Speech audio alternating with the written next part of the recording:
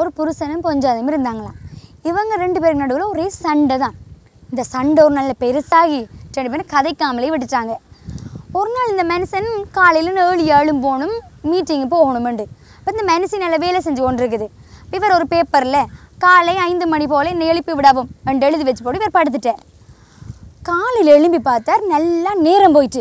நல்லா கோவம் வந்துட்டு மனுஷனுக்கு. நல்ல மனசு போட்டு நல்லா ஏசினார் இந்த மனுஷையும் பேசாமல் போயிடுச்சு. பிறகு இவர் அவசரமாக வெளிக்கிட்டு கொண்டு ஃபோன் எடுக்கக்குள்ள பார்த்தார். கட்டில்ல ஒரு துண்டு எழுதி இருக்குது.